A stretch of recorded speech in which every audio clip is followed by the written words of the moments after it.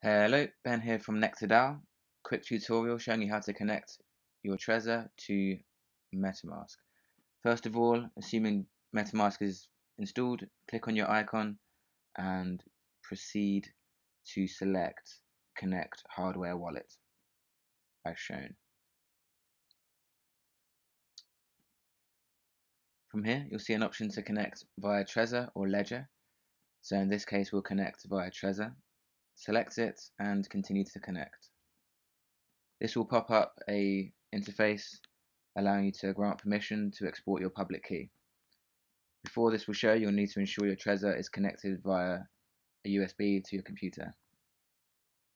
So select export and it will then ask you to input your unique PIN using your Trezor. So go ahead and do that and connect. Voila. So here you can see all of your Trezor Ethereum accounts. Uh, I'll be unlocking the first account. And here you can see my balances.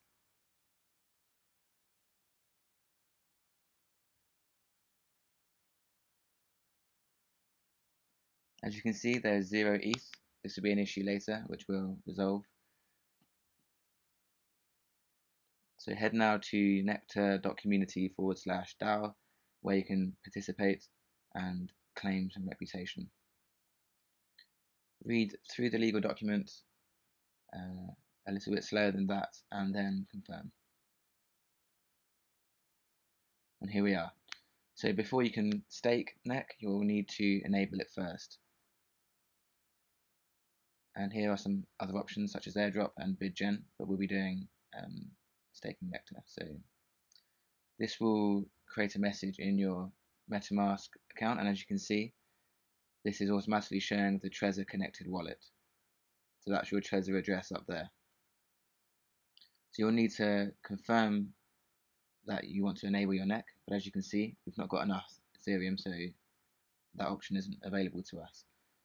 So you can send Ethereum from any address to your Trezor address that you've exported. So I'll be going to one of my other MetaMask addresses and transferring some, some ETH over to cover the gas costs.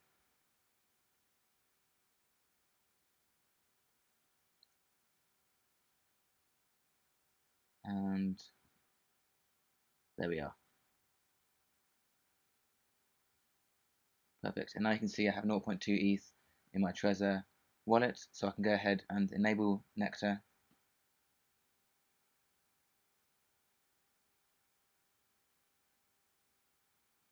And now you can see I'm allowed to continue and the confirm button isn't grayed out.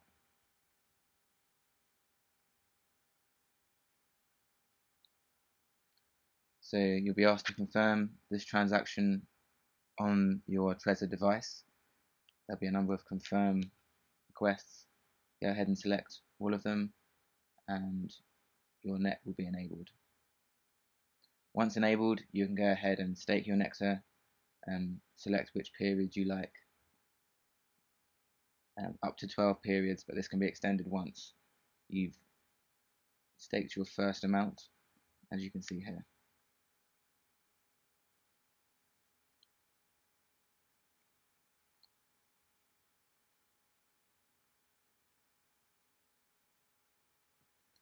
There you go.